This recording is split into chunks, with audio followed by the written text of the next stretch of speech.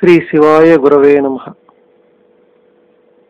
బ్రహ్మశ్రీ తాడేపల్లి రాఘవనారాయణ శాస్త్రుల వారి జీవిత విశేషాలు.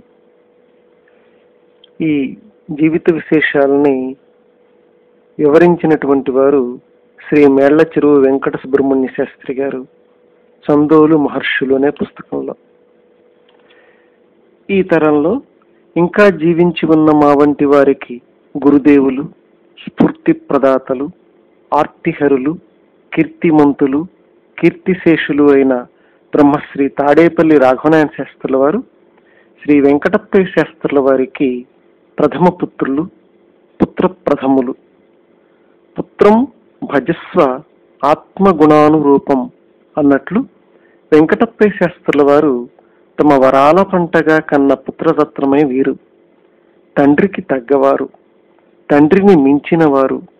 తండ్రిని మెచ్చినవారు తండ్రికి నచ్చినవారు తండ్రిని అనుసరించినవారు తండ్రి అనుసరించినవారు.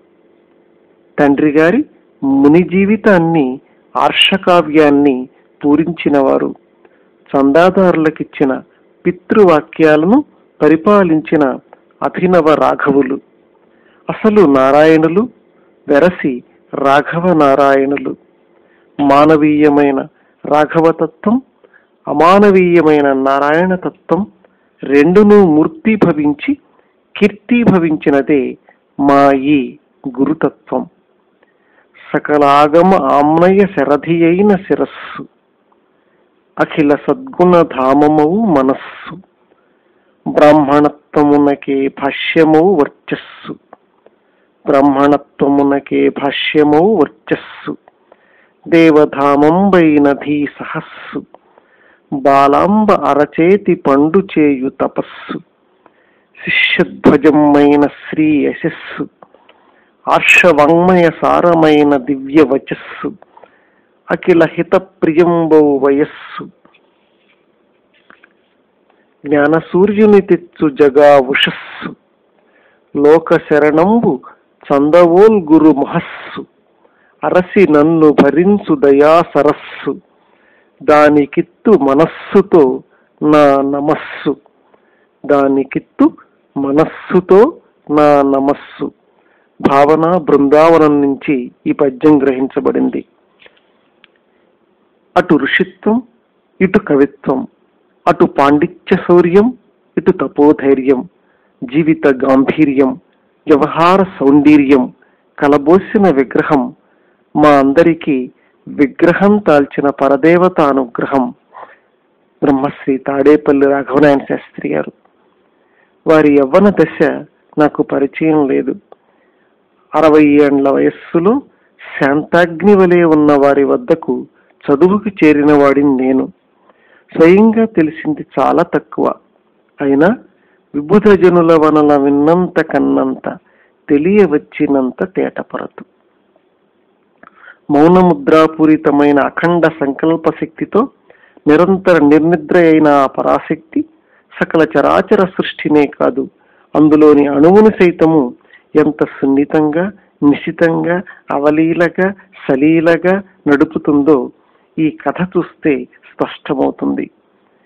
ఆ బాలగోప విదిత సర్వాన్ అనుల్లంఘ్య శాసన అబాలగోప విదిత సర్వానుల్లంఘ్య శాసనా కదా గురువుగారి జీవిత శిల్పాన్ని తెరచాటు నుండి మలిచిన ఆ సూత్రధారి ఆ ప్రపంచ స్థపతి యొక్క శిల్ప కళా కణికలను మనం వీరి చరిత్ర నుంచి సంగ్రహింపవచ్చు.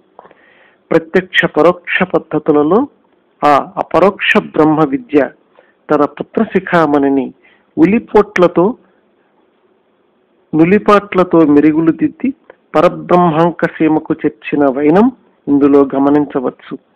ఆ పరోక్ష ఉలిని గమనిస్తూ ఈ కథలో దిగితే ప్రపంచాన్ని నడిపించే శక్తి తీరుతెన్నులు మన మనస్సుతో దాగుడు మూతలాడుతుంటాయి ఇక కథలోకి వెళ్దాం. రఘునాయన శాస్త్రి గారు లోకదృష్ట్యా అందరూ చదివే ఇంగ్లీష్ చదువుల్లోకి పోలేదు. అనేక మంది పండితుల్ని తయారు చేసి దేశానికి సరస్వత మణిహారాన్ని అందించిన తన తండ్రి వద్దనే వారు సంస్కృత విద్యను అభ్యసించారు.